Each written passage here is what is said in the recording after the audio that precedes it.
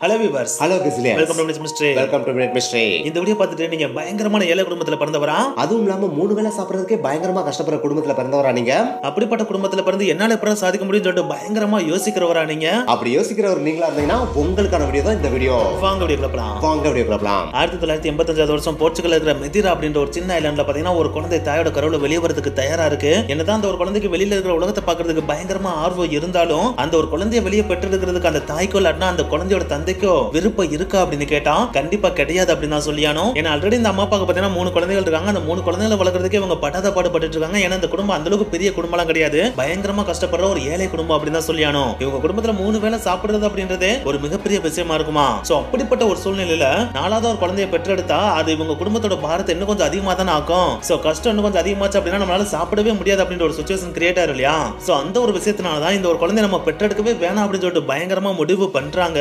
ஆனா ஏதோ ஒரு சுச்சுவேஷன் காரணமா வேற வழியே இல்லாம அந்த குழந்தையை பெற்றெடுக்கவும் செய்றாங்க. ஆனா இந்த ஒரு குழந்தையை பெற்றெடுக்கிறப்ப அவங்களுக்கு தெரியாது இந்த ஒரு குழந்தை தான் இவங்களோட தலையெழுத்தவே மாற்ற போகுது அப்படின்னு. எஸ் அந்த குழந்தை வேற யாரும் கிடையாது. அவர் தான் கிறிஸ்டியானோ ரொனால்டோ. இவரோட அப்பா பத்தி சொல்லணும் அப்படின்னா இவர் ஒரு சாதாரண தோட்ட வேலைக்காரர் தோட்ட வேலைக்காரர் மட்டும் கிடையாது. சின்ன சின்ன ஃபுட்பால் கிளப் இருக்கும் பார்த்தீங்கன்னா அந்த ஃபுட்பால் கிளப்ல கிட்மேனாவும் வேலை பார்ப்பாராம். கிட்மேன் வேற எதுவும் கிடையாது. அந்த ஃபுட்பால் கிளப் வச்சிருக்கிற ஃபுட்பால் கிரவுண்ட் இருக்கும் பார்த்தீங்கன்னா அந்த கிரவுண்டை போய் சுத்தம் பண்றது கூட்டுறது பெருக்கிறது அங்க கிடக்கிற பிளாஸ்டிக் பாட்டிலாம் மொத்தமாக கலெக்ட் பண்ணி வந்து குப்பத்தொட்டில போடுறது. அதுக்கப்புறம் அந்த ஃபுட்பால் கிரவுண்டுக்கு தண்ணியை விட்டு மெயின்டைன் பண்றது அங்க விளையாடுற சின்ன சின்ன பசங்க இருப்பாங்க பாத்தீங்களா? அவங்களுக்கு தேவையான கிட்ட எடுத்துட்டு போய் கொடுக்கறது அதுக்கப்புறம் அங்க விளையாடுற பசங்களோட ரூம்ல இருக்கும் பாத்தீங்களா? அது எல்லாத்தையும் கிளீன் பண்றது இந்த மாதிரியான சின்ன சின்ன வேலையை தான் அவர் பார்த்துட்டு இருந்தாரு. சோ இந்த மாதிரி சின்ன சின்ன வேலையை பார்த்தாலே அவருக்கு அந்த அளவுக்கு பெருசா சம்பளம் இருக்குமான்னு கேட்டா கண்டிப்பா கிடையாது அப்படின்னு தானே சொல்லியானோ சோ அப்படிப்பட்ட ஒரு சுச்சுவேஷன்ல நாலு குழந்தைய பெற்றெடுத்து அந்த நாலு குழந்தைய வளர்க்கணும் அப்படின்னா அதுக்கு சான்ஸே கிடையாது அப்படின்னு தானே சொல்லியானோ ஒரு பக்கம் பாத்தீங்கன்னா குடும்பம் அந்த அளவுக்கு பெருசா முன்னேற மாட்டேங்குது பயங்கரமா வறுமைக்கு தான் போயிட்டு இருக்கு. இன்னொரு பக்கம் பாத்தீங்கன்னா நம்ம பெற்றெடுத்த குழந்தைகளை அந்த அளவுக்கு பெருசா கவனிச்சு வளர்க்க முடியல அவங்க விருப்பப்படுற எதுவுமே வாங்கி கொடுக்க முடியல அப்படின்னு சொல்லிட்டு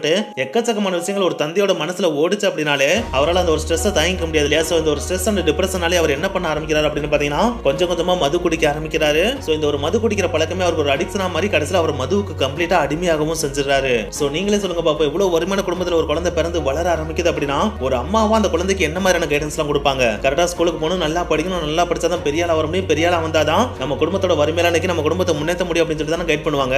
ஸோ அப்படிப்பட்ட ஒரு கைடன்ஸ் தான் ரொனால்டோக்கு அவங்க அம்மாட்ட இருந்து கிடைக்க ஆரம்பிக்குது. ரொனால்டோ இனிஷியல் டைம்ல பார்த்தீங்கன்னா அம்மா சொல்றதை நம்ம கேட்போம் அப்படின்னு சொல்லிட்டு ஸ்கூலுக்கு ரெகுலரா போக ஆரம்பிக்கிறாரு. ஆனா என்னதான் அவர் ஸ்கூலுக்கு ரெகுலரா போனாலும் அவரால் ஸ்கூல்ல நடத்துற பாடங்களை கவனிக்க முடியுதா அப்படின்னு கேட்டா அது கண்டிப்பா கிடையாது அப்படின்னு தான் சொல்லியானோ ஏன்னா அவருக்கு ஸ்டடீஸ்ல பாத்தீங்கன்னா அந்த அளவுக்கு பெருசா இன்ட்ரெஸ்டே கிடையாது. அவங்க சொல்லி கொடுக்குற எதுவுமே பாத்தீங்கன்னா அவர் மண்டியில சுத்தமா ஏறவே செய்யாதான். அவரும் அம்மா சொல்றாங்க நம்ம குடும்பம் வறுமையில இருந்து சொல்லிட்டு பயங்கரமா முட்டி முட்டி மோதி படிச்சு பாக்குறாரு. ஆனா அவர் படிக்கிற எதுவுமே மைண்ட்ல நிக்க மாட்டேங்குது. அதுக்கு ரெண்டு விஷயங்கள் ரீசன் ஆகுது. அதுல முதல் விஷயம் அவரோட அப்பா.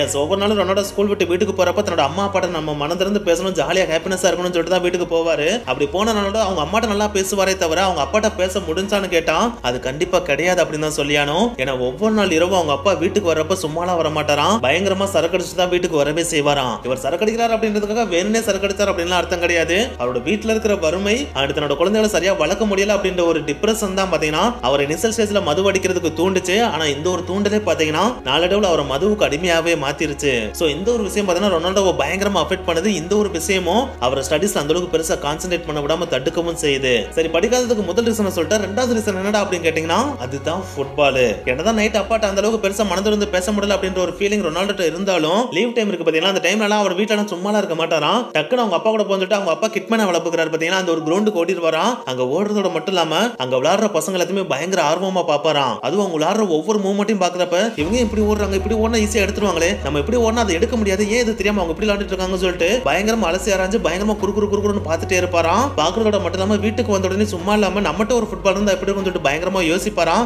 யோசிக்கிறோட மட்டும் இல்லாம அந்த ஒரு ஃபுட்பால் நம்ம வாங்கலாமே அப்படின்னு சொல்லிட்டு அவங்க அம்மாட்ட போய் கேட்க போவாராம். ஆனா அப்படி கேட்க போறப்ப அவங்க வீட்டுல சமைக்கிறதுக்கு பொருள் இல்ல அதை வாங்குறதுக்கே காசு இல்லைன்றது தெரிஞ்ச உடனே நம்ம வீட்டுல சாப்பிடுறதுக்கே வழி இல்லை அப்படி இருக்கப்ப நம்ம போய் ஃபுட்பால் எங்க வாங்குறதுன்னு சொல்லிட்டு மனம் உடஞ்சு திரும்பி வந்துருவாராம். அதுக்காக மனம் உடஞ்சு திரும்பி வந்துட்டார் அப்படின்றதுக்காக அவரோட மனசுல இருந்த ஃபுட்பால் கம்ப்ளீட்டா உடஞ்சு போச்சு அப்படின்னு அர்த்தம் கிடையாது. ஃபுட்பால் வாங்க முடியல அப்படின்ற குறை தான் இருக்குமே தவிர அந்த ஒரு ஃபுட்பால் நம்ம உருவாக்கினா எப்படி இருக்கும்னு சொல்லிட்டு பயங்கரமா யோசிச்சு அவங்க அப்பா ஒவ்வொரு நாள் ஃபுட்பால் கிரவுண்ட்ல இருந்து பிளாஸ்டிக் பாட்டில் எடுத்துட்டு வருவார் பாத்தீங்களா? அதாவது காலியான வாட்டர் பாட்டில் இருக்கும் போது அதை எடுத்துட்டு வருவார் பாத்தீங்களா?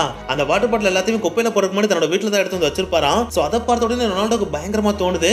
ஏன் இதை நம்மளால ஃபுட்பால மாத்த முடியாதா அப்படின்னு? அதை யோசிக்க கூட முடியாம டக்குனு அந்த வாட்டர் பாட்டில் எல்லாத்தையும் கலெக்ட் பண்ணி ஒரு ரவுண்ட் ஷேப்ல டக்கு டக்கு டக்குனு அடிக்கி அதை ஒரு ஃபுட்பாலாவே மாத்துறாரு. மாத்துறதோட மட்டும் இல்லாம அதை கொண்டு போய் விளையாடலாம் சொல்லிட்டு வேகமா வெளியே எடுத்துட்டு போவாராம். ஆனா என்னதான் வெளியே எடுத்துட்டு போனாலும் அவர் விளையாடுறதுக்கு கிளப்ல இருக்கிற மாதிரி பயங்கரமான கிரவுண்ட் இருக்குமான்னு கேட்டா கண்டிப்பா கிடையாது தானே? சோ நம்மளுக்கு கிரவுண்ட் இல்லாட்டியும் பரவாயில்ல நம்ம இருக்கிறது நம்ம வீட்டுக்கு முன்னாடி இருக்கிற ஸ்ட்ரீட் இந்த ஸ்ட்ரீட் தான் நம்மளுக்கு இருக்கிற ஒரே கிரவுண்ட் இந்த கிரவுண்ட்ல நம்மளோட ஸ்கில்ல எக்ஸ்போஸ் பண்றோம்னு சொல்லிட்டு அந்த ஒரு ஸ்ட்ரீட்ல அவர் உருவாக்கின பிளாஸ்டிக் வாட்டர் பாட்டில் பால் இருக்கு பாத்தீங்களா அந்த ஒரு பாலை வச்சு எவ்வளவு தூரம் கிளிக் பண்ண முடியுமோ அவ்வளவு தூரம் கிளிக் பண்றது எவ்வளவு தூரம் ட்ரிக்ஸா கண்டுபிடிக்க முடியுமோ அவ்வளவு ட்ரிக்ஸா கண்டுபிடிச்சிட்டு இருப்பாராம். அதுவும் அந்த அளவுக்கு எவ்வாறு அதை எத்தனாலே பயங்கரமா கால் வலிக்கிற அந்த ஒரு பாலை வச்சு தான் அவர் ஸ்டார்டிங்ல அதை பழகவே ஆரம்பிச்சாராம். அப்படி பழகுறப்ப அவரோட காலில் சூறு இருக்குமான்னு கேட்டா அதுவும் கிடையாது. வெறும் பாலை வச்சு தான் அந்த ஒரு பிளாஸ்டிக் பாலை எத்தி எத்தி விளையாடுவாராம். நீங்களே யோசிச்சு பாருங்க நார்மலான ஒரு பிளாஸ்டிக் வாட்டர் பாட்டில் எத்தனாலே நம்மளுக்கு கால் வலிக்கும் இல்லையா? அப்படி இருக்கிறப்ப அத்தனை பாட்டில கம்பைன் பண்ணி உருவாக்கப்பட்ட அந்த ஒரு பந்து எவ்வளவு வெயிட்டா இருக்கும்? அது எத்தனை எவ்வளவு தூரம் கால் வலிக்கும்? ஆனா அந்த ஒரு வழியில அவருக்கு தெரியவே இல்லையா? நம்ம எப்படியாச்சும் ஃபுட்பாலை கத்துக்கணும்ன்ற வெறி மட்டும் தான் அவருக்கு அந்த டைம்ல இருந்துச்சான் இந்த ஒரு விஷயத்த ஒவ்வொரு நாளும் பாத்தீங்கன்னா அவங்க அப்பா பாத்துட்டே இருக்காரு. இதை பாக்குறப்பல அவருக்கே ஒரு பயங்கரமான ஹாப்பினஸ் அவர் அறியாமலே அவரோட மனசுல உருவாக ஆரம்பிக்குது. என்னடா நம்ம பையன் இவ்வளவு தூரம் விளாடுறான் இவ்வளவு விளையாடுற அளவுக்கு அந்த கிளப்ல விளையாடுறாங்களா கேட்டா கண்டிப்பா கிடையாது. அப்ப நம்ம பையனோட ஸ்கில்ல இம்ப்ரூவ் பண்ணா அவன் வேற லெவல்ல க்ரோத் ஆவான். அதுக்கு நம்ம பண்ண வேண்டியது ஒரு பாலை வாங்கி கொடுக்கறது தான் ஆனா நம்மகிட்ட பால் வாங்கி கொடுக்குற அளவுக்கு காசு கிடையாது. இருந்தாலும் பரவாயில்ல இந்த ஒரு பாலை விட இன்னும் கொஞ்சம் நல்லா ஜம்ப் ஆகக்கூடிய அதே நேரத்துல இவன் கால் வலிக்காம இருக்கிற அளவுக்கு நம்ம பண்ணக்கூடிய ஒரே விஷயம் இந்த பாலை மாடிஃபை பண்றது மட்டும்தான் அப்படின்னு சொல்லிட்டு டக்குனு கொடுக்கணும் தன்னோட வீட்டுல போயிட்டு தான் வீட்டுல இந்த பழைய துணிகள் இருக்கும் பாத்தீங்களா? அந்த துணி எல்லாத்தையுமே கம்பைன் பண்ணி ஒரு ரவுண்ட் ஷேப்ல உருவாக்கி இந்த நீ இந்த பாலை வச்சு விளையாடுன்னு சொல்லிட்டு ஒரு துணி பாலை அவர் கையில கொடுக்குறாரு. அந்த ஒரு பாலை பார்த்தோன்னே கிறிஸ்டியானோ பயங்கரமான ஒரு ஹாப்பினஸ் கிரியேட் ஆகுது. அந்த ஒரு ஹாப்பினஸ்க்கு காரணம் இனிமேல் தன்னோட கால் வலிக்காது அப்படின்னு அர்த்தம் கிடையாது. தன்னோட ஆசையை தன்னோட அப்பா புரிஞ்சுக்கிட்டார் அப்படின்ற ஒரு விஷயம் இருக்கு பாத்தீங்களா? அந்த ஒரு விஷயத்துக்காக தான் பயங்கரமா ஹாப்பி ஆறாரு. என்னதான் அவரோட அப்பாவோட ஆசையை புரிஞ்சுக்கிட்டாலும் இந்த ஒரு ஆசை அவங்க அம்மாவுக்கு போய் சேர்ந்துச்சான்னு கேட்டா அது கண்டிப்பா கிடையாது அப்படின்னு தான் சொல்லியானோ? அவங்க அம்மா நடனா நம்ம பையன் பயங்கரமா ஸ்கூலுக்கு போயிட்டு இருக்கான் அவன் பயங்கரமா படிச்சிட்டு இருக்கான் கண்டிப்பா பெரிய ஆள் வந்துருவா அப்படின்னு சொல்லிட்டு தான் நினைச்சிட்டு இருக்காங்க. ஆனா இங்க எல்லாமே தலைகளை நடந்துட்டு இருக்கின்றது அவங்களுக்கு தெரியவே இல்லை. சோ இப்போ ரொனால்டோ என்ன பண்ணிட்டு இருக்காரு அப்படின்னு பாத்தீங்கன்னா வெளியே தன்னோட அப்பா உருவாக்கி கொடுத்த அந்த துணிப்பந்து இருக்கு பாத்தீங்களா அதை வச்சு தான் காலில் எத்தி எத்தி நெத்திட்டு இருக்காரு. ஆனா அப்படி எத்திட்டு இருக்கப்ப தான் அவருக்கே தோணுது நம்ம இங்க வெறுங்கால விளையாடுறோம் சப்போஸ் நம்மளுக்கு ஏதாச்சும் ஒரு சான்ஸ் கிடைச்சு நம்ம ஏதாச்சும் ஒரு ஃபுட்பால் கிளப்ல போய் விளாட போனோம் அப்படின்னா அங்க நம்மளால ஷூ போடாம விளாட முடியாது. சப்போஸ் நம்மளுக்கு அங்க புது ஷூ கொடுத்தாலும் அந்த ஷூ வச்சு பால் எத்த சொன்னா நம்ம எதையுமே கத்துக்காம அங்க திடீர்னு ஷூ போட்டு எத்தனை நம்மளால எத்தவே முடியாதுல. சோ கண்டிப்பா இப்போதைக்கு நம்மளுக்கு ஏதாச்சும் ஒரு ஷூ வேணும். அந்த ஷூ இருந்தா தான் நம்மளால பழக முடியும்னு சொல்லிட்டு சூக்கு ஏதாச்சும் பண்ண முடியுமா அப்படின்னு சொல்லிட்டு யோசிக்கிறாரு. அப்படி யோசிக்கிறப்ப தான் அவரோட மைண்ட்ல பயங்கரமான ஒரு பல்ப் எரியுது நம்ம வீட்டுல கேட்டா கண்டிப்பா நம்மளுக்கு ஷூ கிடைக்க போறது கிடையாது. ஆனா பக்கத்துல இருக்கிற வீட்டுக்காரங்க இல்லாட்டி நம்மளோட ஃப்ரெண்ட்ஸ் சர்க்கிள் யாராச்சும் நம்ம ஷூ கேட்டோம் அப்படின்னா அவங்க யூஸ் பண்ணி வச்ச பழைய சூ அதாவது குப்பையில தூக்கி போடுற பழைய ஷூ இருக்கும் பாத்தீங்களா? அந்த ஷூவாச்சும் நம்மளுக்கு கிடைக்கும். அந்த ஷூ கிடைச்சுன்னா அதை வச்சு நம்மளால கண்டிப்பா பழக முடியும்னு சொல்லிட்டு ஒவ்வொரு வீடா பக்கத்துல இருக்கிற எல்லா வீட்லயும் போயிட்டு சின்ன பிள்ளைத்தனமா கேட்க ஆரம்பிக்கிறாரு. சின்ன பிள்ளைத்தனமா அப்படின்னு சொல்லி முடியாது. ஏன்னா அவரோட வயசு சின்ன வயசு தான் இருந்தாலும் அவர்கிட்ட இருக்கிற பேஷன் வேற லெவலில் இருக்கு இல்லையா? ஸோ அது ஒரு பேஷனோட காரணமாக தான் எதையுமே பொருட்படுத்தாம இப்படி கேட்டால் நம்மளை தப்பா நினைப்பாங்களா அப்படின்லாம் கொஞ்சம் கூட யோசிக்காம ஒவ்வொரு வீடா ஏறி ஏதாச்சும் உங்கள்கிட்ட பழைய ஷூ யூஸ் பண்ணாத ஷூ இருந்தா என்கிட்ட கொடுங்க அப்படின்னு சொல்லிட்டு கேட்க ஆரம்பிக்கிறாரு. அப்படி கேட்குறப்ப பல வீடுகள் அவருக்கு ஏமாற்றம் தான் மிஞ்சது. கடைசியா ஒரே ஒரு நெய்பர் வீட்டில் பார்த்தீங்கன்னா ஒரு ஷூ எடுத்து கொடுக்குறாங்க. அந்த ஷூவும் பயங்கரமா நல்ல ஷூவா இருந்துச்சான்னு கேட்டா அதுவும் கிடையாது. அதுவும் பார்த்தீங்கன்னா அங்கனங்கன கிழிஞ்ச ஷூவா தான் இருக்கு. என்னதான் அந்த ஷூ அங்கனங்கன கிழிஞ்சு கிழிஞ்சு இருந்தாலும் அந்த ஒரு டைம்ல அவருக்கு கிடைச்ச அந்த ஒரு ஷூ அவருக்கு எந்த மாதிரி தெரிஞ்சு அப்படின்னு பாத்தீங்கன்னா ஒரு கோல்டன் ஷூ அவர் கையில கொடுத்தா எப்படி இருக்குமோ அந்த மாதிரி ஒரு ஃபீலிங் தான் கிடைக்குது. ஸோ அந்த ஒரு ஷூ தனக்கு கிடைச்ச ஒரு புது ஷூ மாதிரி நினைச்சிட்டு டக்குன்னு தன்னோட காலில் மாட்டிட்டு மறுபடியும் ஸ்ட்ரீட்ல இறங்கி அந்த ஒரு துணிப்பந்தை வச்சு விளையாட ஆரம்பிக்கிறாரு. இவர் ஒரு பக்கம் இந்த மாதிரி தன்னோட ஸ்கில்ல பயங்கரமா அழுத்துட்டு இருக்கிற இந்த ஒரு டைம்ல அவரோட அப்பா சும்மா இருந்தாரான்னு கேட்டா கண்டிப்பா கிடையாது அப்படின்னு தான் சொல்லியானோம். ஏன்னா நீங்களே சொல்லுங்க பாப்போம். சாதாரண துணிப்பந்தை வச்சு இவ்வளவு வெறித்தனமா விளையாடுற தன்னுடைய பையனை ஒரு கிளப்ல சேர்த்துட்டா எப்படி விளையாடுவான்னு யோசிச்சு பார்த்தாலே அவருக்கு எப்படி இருக்கும்? உண்மையிலே வேற லெவல் ஹாப்பினஸ் கிரியேட் ஆகல. சோ அந்த ஒரு ஹாப்பினஸோட வெளிப்பாட பாத்தீங்கன்னா ஒவ்வொரு வாரமும் தான் வேலை பாருங்க கிளப் இருக்கு பாத்தீங்களா அங்க போயிட்டு தன்னுடைய மகனை எப்படியாச்சும் சேர்த்துக்கங்க சேர்த்துக்கங்கன்னு கெஞ்சு வரான். ஆனா இவர் சொல்றது அவங்க பார்த்துட்டு பெருசா விழவே இல்ல. ஏன்னா இவரும் பாத்தீங்கன்னா புவர் ஃபேமிலி அண்ட் இவரோட பையனும் பாத்தீங்கன்னா பெருசா அப்பியரன்ஸ் இல்ல இல்லையா? சோ அப்படி இருக்கப்ப இவனுக்குலாம் ஸ்கில் இருக்குமா அப்படின்னு தானே யோசிப்பாங்க. சோ அந்த ஒரு தட்டில தான் இவரை தட்டி தட்டி கழிச்சுட்டு இருந்திருக்காங்க. ஆனா ஒரு நாள் இவருடைய டார்ச்சர் தாங்க முடியாம என்னையே அப்படி உன் பையன் பயங்கரமா விளையாடுவான் அவனை கூட்டு வா பாப்போம் அப்படின்னு சொல்லிட்டு கூட்டு வர சொல்றாங்க. இந்த வார்த்தையை கேட்ட அடுத்த செகண்டே கொஞ்சம் கூட யோசிக்காம குடுகுடு ஓடி போய் ரொனால்டோ கூட்டு வந்து கிளப்ல நிப்பாட்டுறாப்ல. நிப்பாட்டுறவரை மட்டும் இல்லாம அவனுடைய ஸ்கில்லையும் காட்ட சொல்றாப்ல. ரொனால்டோவும் பாத்தீங்கன்னா இதுதான் நம்மளுக்கு கிடைச்ச சான்ஸ் அப்படின்னு சொல்லிட்டு அந்த கிளப்ல இருக்க ஃபுட்பாலை எடுத்து முத தடவையா கிக் பண்றாப்ல.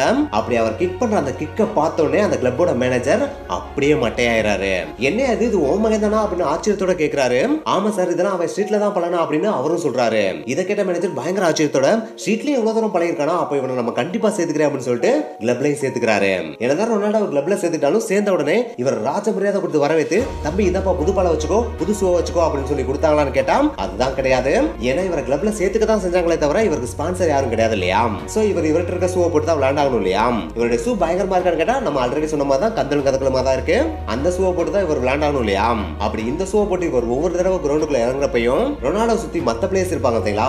அவங்க எல்லாருமே பயங்கரமா கேலி கிண்டல் பண்ணி சிரிப்பாங்களாம். சிரிக்கிறதோட மட்டும் இல்லாம அவங்களுடைய அப்பியரன்ஸை பார்த்து பயங்கரமா ஹியூமிலேட்டும் பண்ணுவாங்களாம். ஆனா இதெல்லாம் அந்த இடத்துல கட்டுக்கிறதுக்கு ரொனால்டோக்கு டைம் இருக்கான்னு கேட்டா அதுதான் கிடையாது.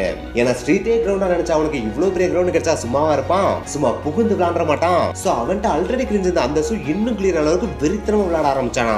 ஒரு பக்கம் ஃபுட்பால் இவ்வளவு தூரம் கான்சென்ட் பண்ணிட்டு இருக்கா அப்படின்னாலே இன்னொரு பக்கம் ஸ்டடிஸ்ல கான்சென்ட் பண்ண முடியுமான்னு கேட்டா கண்டிப்பா கிடையாதானே? சோ அந்த ஒரு விஷயம் பாத்தீங்கன்னா அவங்க அம்மாவுக்கு கொஞ்சம் கொஞ்சமா தெரிய வருது. ஒரு நாள் அவங்க அம்மாவை ஸ்கூல்ல கூப்பிட்டு உங்க பையன் சுத்தமா படிக்க மாட்டான் அப்படின்னு சொல்லிடுறாங்க. இதை கேட்டோன்னே அவங்க அம்மாவும் ஒரு முடிவு பண்ணிடுறாங்க. முடிவு பண்றதோட மட்டும் இல்லாம ரொனால்டோ கூட்டிட்டு வீட்டுக்கும் வர்றாங்க.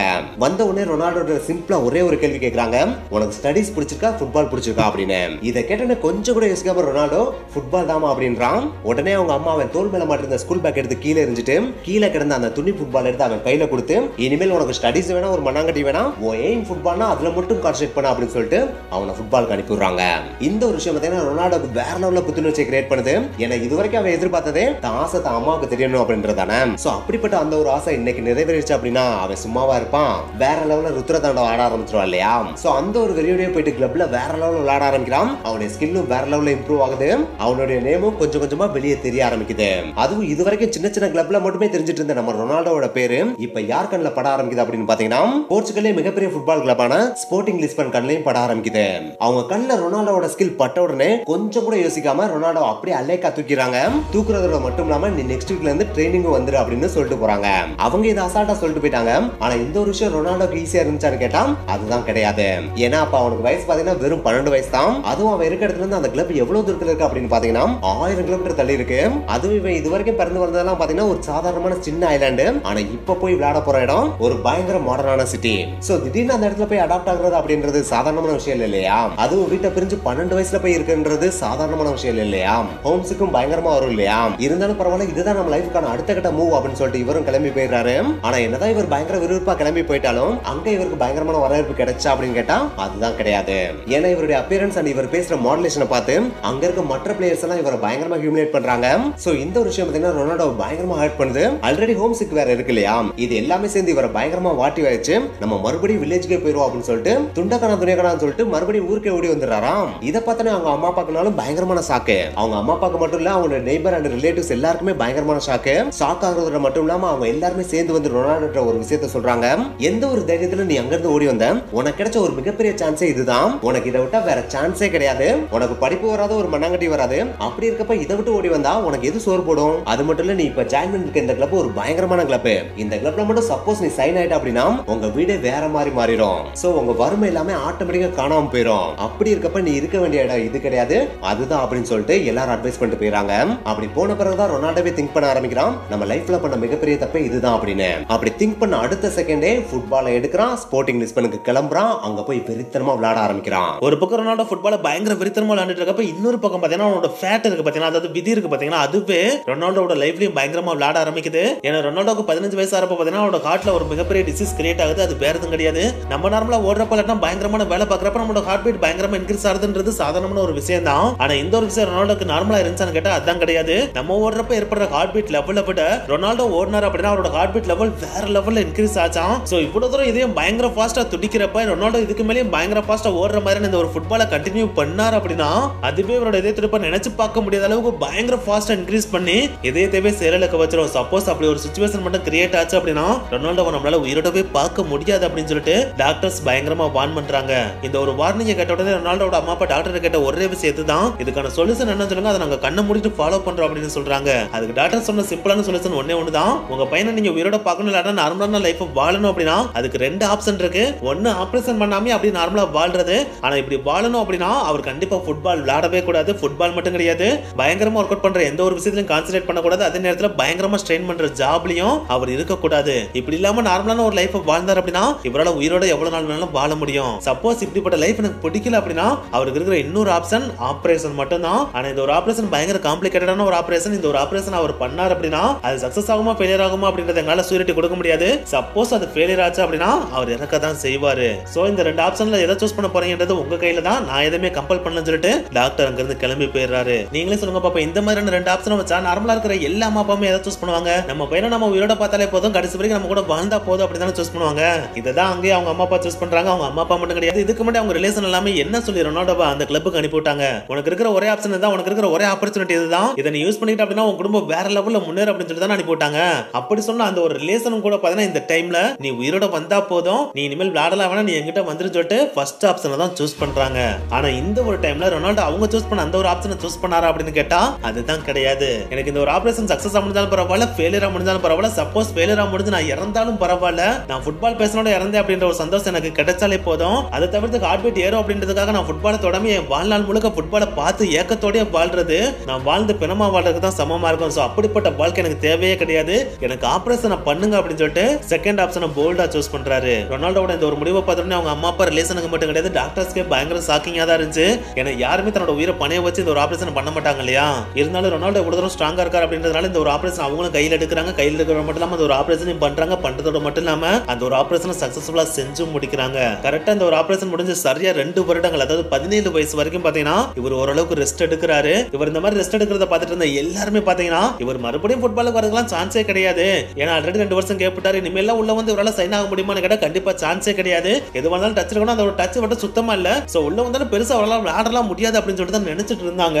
ஆனா அந்த ஒரு ஃபேட்டை கம்ப்ளீட்டா மாற்று எழுதி தன்னோட பதினேழாவது வயசுல பாத்தீங்கன்னா ரொனால்டோ மறுபடியும் ஃபுட்பால்குள்ள களம் இறங்குறாரு. களம் இறங்குறோட மட்டும் இல்லாம இதுக்கு முன்னாடி அவர் விளையாண்டாரு பாத்தீங்களா அதை விட எவ்வளவு தூரம் வெறித்தனம் விளையாடணுமோ அந்த மாதிரி பயங்கர வெறித்தனமா விளையாண்டு எனக்குள்ள இந்த மாதிரி டிசீஸ் வந்துச்சுன்னு தெரியாத அளவுக்கு வெறித்தனமா விளையாண்டாரா? சோ இந்த மாதிரி வெறித்தனமா அவர் விளையாண்டுட்டு இருக்கிற அந்த ஒரு சமயத்துல தான் அவருக்கு பயங்கரமான ஆப்பர்ச்சுனிட்டியா ஒரு மேட்ச் வந்து அமையுது. அந்த மேட்ச் தான் ஸ்போர்ட்டிங் லிஸ்மனோட மேன்செஸ்டர் யுனைடெட் விளையாடுறது. சோ இப்படி ஒரு மேட்ச் வரப்போகுது அப்படின்னு தெரிஞ்ச உடனே ரொனால்டோ வெறித்தனமா பிராக்டிஸ் பண்றாரு. சோ இந்த ஒரு மேட்ச்ல மட்டும் நம்ம வெறித்தனமா பெர்ஃபார்ம் பண்ணிட்டோம் அப்படின்னா கண்டிப்பா மேனியோட மேனேஜர் கண்ணில் படுவோம். அவர் கண்ணில் மட்டும் நம்ம பட்டுட்டோம் அப்படின்னா அவர் கண்டிப்பா நம்மள பிக் பண்ணிடுவார் அப்படின்னு ரொனால்டோக்கு தெளிவா தெரியுது. சோ இதுக்காகவே வெறித்தனமா பிராக்டிஸ் பண்ணி அந்த மேட்ச்லையும் ப்ளே பண்றாரு. ப்ளே பண்றதோட மட்டும் இல்லாம இதுவரைக்கும் அவர் கத்துக்கிட்ட எல்லா ஸ்கில்ஸையும் அதுல மொத்தமா காட்டுறாரு. சோ இவ்வளவு தூரம் தன்னுடைய ஸ்கில்ஸ் எல்லாத்தையும் ஒரே மேட்ச்ல காமிச்சா மேனியோட மேனேஜர் கண்ணில் படாமையா இருப்பாரு. கண்டிப்பா படத்தானே செய்வாரு. சோ அந்த மேட்ச் முடிஞ்சோடனே ரொனால்டோ நினைச்ச மாதிரியே தான் சார் அலெக்ஸ் பர்கர்சனும் ரொனால்டோவை பத்தி விசாரிக்க ஆரம்பிக்கிறாரு. அப்படி விசாரிக்கிறப்ப தான் ரொனால்டோட ஸ்கில்ஸை பத்தி கம்ப்ளீட்டா தெரிஞ்சுக்கிறாரு. அது தெரிஞ்ச உடனே இவனை புக் பண்ணாம நம்ம போர்ச்சுகலை விட்டு கிளம்பவே கூடாது அப்படின்னு ஒரு முடிவு எடுக்கிறாரு. முடிவு எடுக்கிறதோட மட்டும் இல்லாம மேனியூக்காக ரொனால்டோவை பிக் பண்ணவும் செய்யறாரு பிக் பண்றதோட மட்டும் இல்லாம ரெண்டாயிரத்தி மூணாவது வருஷம் ரொனால்டோவை மேனியூக்காக களமிறங்கவும் வைக்கிறாரு. அதுக்கடுத்து நடந்த எல்லாமே ஹிஸ்டரி தான் ரெக்கார்டு தான். அதை நாங்க சொல்லி தான் தெரியன்ற அவசியம் கிடையாது. இது வரைக்கும் அஞ்சு Ballon d'Or four European golden shoe award ரெண்டு ஃபுட்பாலர் ஆஃப் த இயர் அப்படி இப்படின்னு அவருடைய ரெக்கார்ட்ஸ் அடிக்கிட்டே போலாம். அண்ட் இதுக்கெல்லாம் மேல ஃபுட்பாலே அளவுக்கு அதிகமான கோல் அடிச்ச ஒரே ஆள் அப்படின்னா அது நம்ம ரொனால்டோ அப்படின்னே சொல்லலாம். சோ கிறிஸ்டியானோ ரொனால்டோட லைஃப் ஸ்டைல இருந்து நம்ம கத்து வேண்டிய விஷயம் எந்த ஒரு விஷயம் தான் நீங்க பிறந்தது ஏழை வீடா இருந்தாலும் சரி சாப்பிடறதுக்கு வழியே இல்லைனாலும் சரி உங்களுக்குள்ள பேஷன் அப்படின்ற ஒரு விஷயம் வந்துருச்சு அப்படின்னா நீங்க காரணங்கள் எல்லாத்தையுமே தவிர்த்தெறிந்து உங்களுடைய பேஷனை நோக்கி விடாமுயற்சியோட ஓட ஆரம்பிச்சீங்க அப்படின்னா உங்களுக்கு முன்னாடி எவ்வளவு பெரிய பாறையா இருந்தாலும் சரி எவ்வளவு பெரிய கல்லா இருந்தாலும் அதாவது எவ்வளவு பெரிய தடைகள் வந்தாலும் சரி அது எல்லாமே சுக்குநூறாகி உங்களுக்கு மலர் பாதையா மாற ஆரம்பிக்கும். இது எல்லாமே எப்ப மாறும் அப்படின்னு பாத்தீங்கன்னா உங்களுக்கான தடைகள் வரும் பாத்தீங்கன்னா அந்த தடைகளை பார்த்து நீங்க சோர்ந்து போய் உட்காராம விடாமுயற்சியோட வெறித்தனமா உங்களுடைய கோலை பார்த்து ஓட ஆரம்பிக்கிறப்பதான் மாறும். சோ எப்பயுமே நாங்க சொல்றதா never ever give up.